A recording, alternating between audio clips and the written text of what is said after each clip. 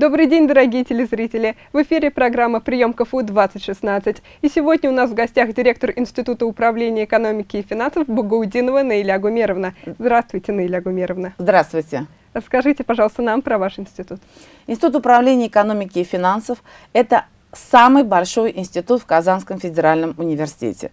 На сегодняшний день он насчитывает более 8 тысяч студентов. Он создан на базе таких известных институтов, как Казанский финансово-экономический институт, экономический факультет Казанского государственного университета, социально-экономический э, факультет Татарского государственного педуниверситета, Академия госмуниципальной службы и институт, э, филиал РЭУ имени Плеханова, больше известный у нас в Казани как бывший торговый институт.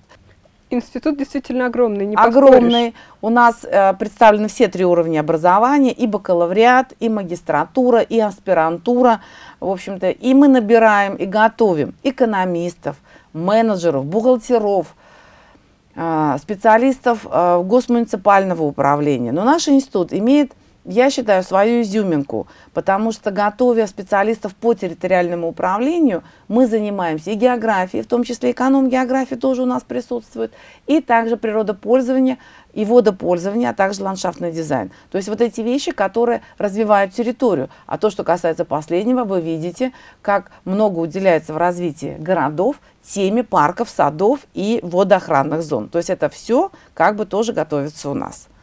Так что мы э, готовим очень большой спектр специалистов, не только экономистов, но как бы основы, конечно, составляют экономисты и менеджеры.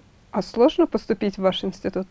А, насколько я себя помню, а, даже я, когда поступала в 1981 году, это было непросто. Конкурс всегда был э, достаточно высокий. И я думаю, что сокращение бюджетных мест э, в этом году также э, повысит конкурс.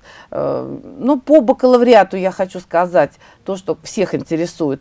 25 бюджетных мест на экономике, 25 бюджетных мест на менеджменте, 25 бюджетных мест на госмуниципальном управлении. Есть 20 мест на географии и 20 мест на а, природопользование, на природы водопользование. В общем-то, вот такие места. А как обстоит тогда дело с трудоустройством? Он пройдет практику, и он Но видит себя? все говорят, что очень много экономистов. Все, э, это уже тема вечная. Последние 15 лет все об этом, даже 20 говорят, что у нас очень много мы выпускаем юристов и экономистов.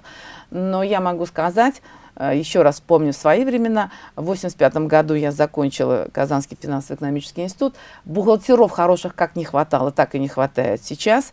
То есть профессионал востребован везде. Вопросы трудоустройства решаются самими ребятами. Конечно, того, той системы распределения, которая была в советские времена, она отсутствует. Но все ребята у нас находят э, работу. И если человек не находит работу сразу после выпуска, это не говорит, что его не берут. Он просто, зная себе цену, подыскивает место.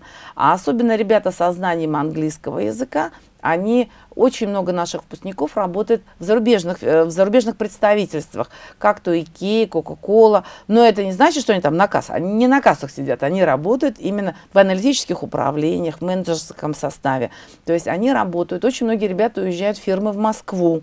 То есть э, у нас вот есть такой, э, вот мы работаем с фирмой Deloitte, это аудиторская компания. Она очень любит наших студентов приезжают практически, ну, по-хорошему вербуют, дают им подъемные, и ребята уезжают, устраиваются в Москву, работают в Делойте. Я сама а, дважды была в Делойте, встречалась с нашими же выпускниками, то есть как-то ребятам представляется возможность трудоустройства, если э, это, ну, как бы э, им нравится если они этого хотят. Но э, я считаю, что один из моментов трудоустройства, о котором мы вот все говорим э, сейчас, дискут, ну, рассказываем про э, аудиторские фирмы, про министерство, ведомства, куда они устраиваются, промышленные предприятия.